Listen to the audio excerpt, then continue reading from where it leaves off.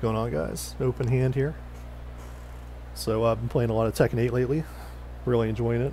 It's actually the first fighting game that I've gotten into. And I was on YouTube today looking at some Tekken videos and I ran into a couple wave dash tutorials. And it kind of reminded me of when I was first trying to learn how to wave dash, um, how confusing it was. I shit you not, I thought I thought this was a wave dash and I was so confused on why people could do it so much quicker um, than I could. So I figured I'd make my own video and just kind of break it down and show you guys how to do wave dash on pad, you know, for the complete noobs here.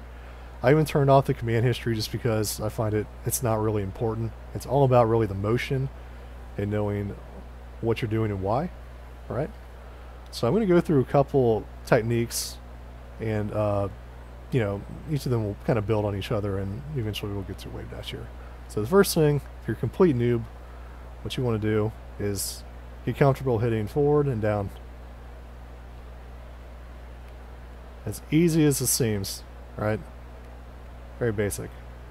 So after you spend about 30 seconds and have this down, the uh, next step is going to be, let me go to my sweet artwork here.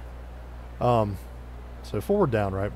The next step is going to be, you know, I want you to slide your thumb over to around here. Okay?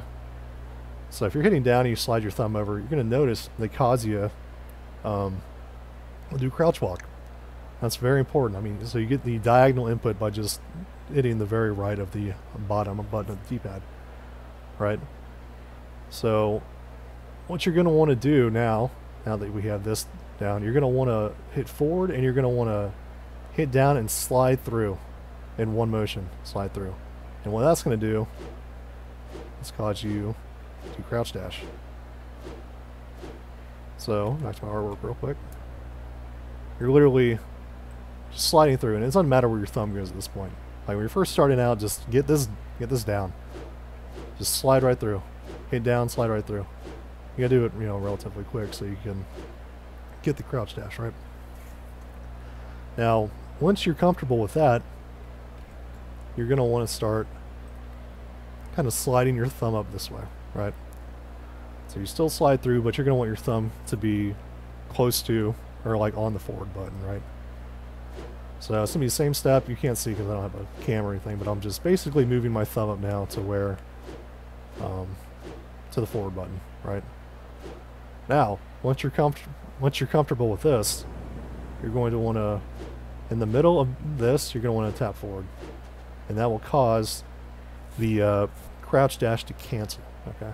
So you're going to see, because Kazu's head is going to pop right up. See?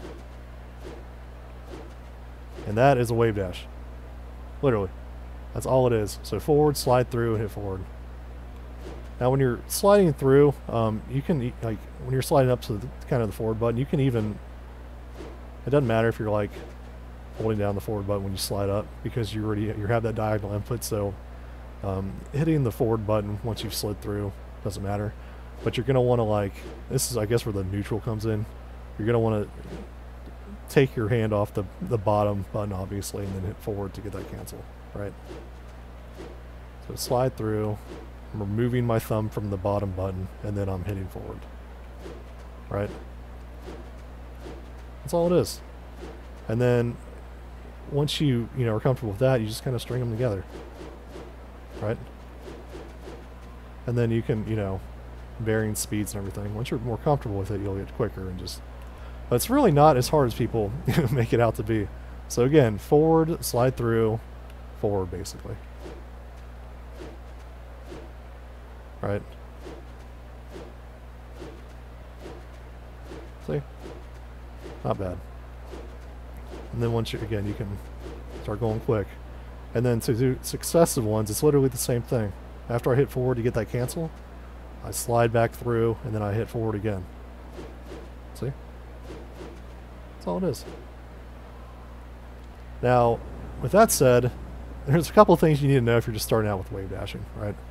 Um, that's going to help you, you know, in the game. So a crouch dash, which is this, counts as a forward input, right? So this is very important if you're playing Kazuya, obviously, and trying to make somebody up.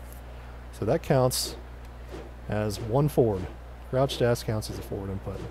Now, why is this important? because if you're doing like a uh, mix up here and you want to do like a demon fist or you want to do like a forward forward three or a uh, you know forward forward four whatever um, for you know steel pedal um, it's important because those all those required two forward inputs basically what you you're doing here is when you hit the second forward to cancel right?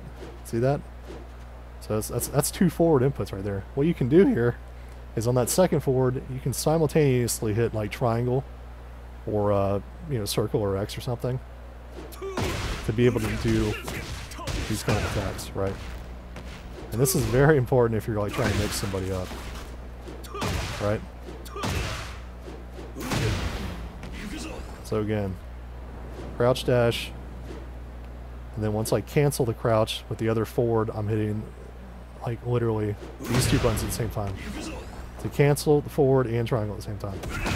And that will give me the uh, you know that input there. A lot of people don't know that so I figured I would uh at least explain that so people know. Um, and that, that's really all it is. I mean if you have any questions let me know. Hopefully that was uh, about as elementary as it can get on explaining it it's not really, it's not, it's really not as hard as people make it out to be. If you have any questions, let me know. And uh, I'll see you guys in the next one. Peace.